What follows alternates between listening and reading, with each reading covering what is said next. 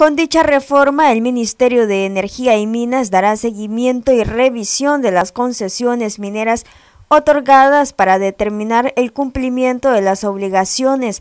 También tendrá la facultad de cancelar concesiones en caso de incumplimientos de los acuerdos suscritos entre las partes. El Ministerio de Energía y Minas ejecutará un seguimiento y revisión de las concesiones mineras otorgadas a la fecha de publicación de la presente ley para determinar el cumplimiento de las obligaciones de los titulares mineros, facultándose al Ministerio a cancelar dichas concesiones en caso de incumplimiento o establecer acuerdos de cumplimiento en los casos que amerite con los concesionarios mineros infractores.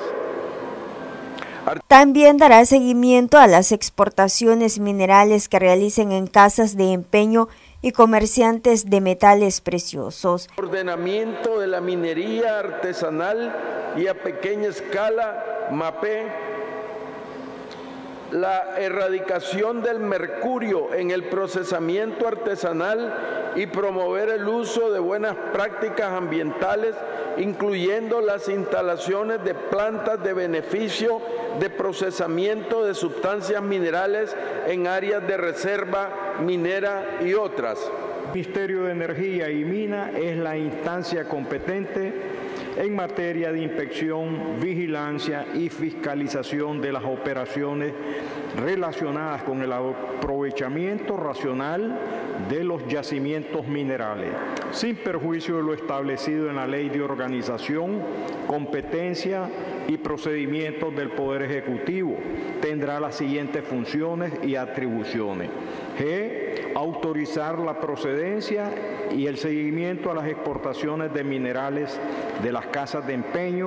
En caso de incumplimiento de este literal, el MEN está facultado para el cierre o intervención del sujeto obligado. H. Nombrar interventores en los casos de incumplimientos establecidos por el MEN en consonancia al artículo 2 de la presente ley.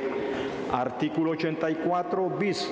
Para otorgar concesiones en las áreas de reserva minera, los interesados deberán suscribir alianzas, asociaciones, sociedades con empresas privadas, públicas o mixtas, o cualquier forma de participación que proponga el Ministerio de Energía y Minas Men. Noticias 12, Darlene Telles.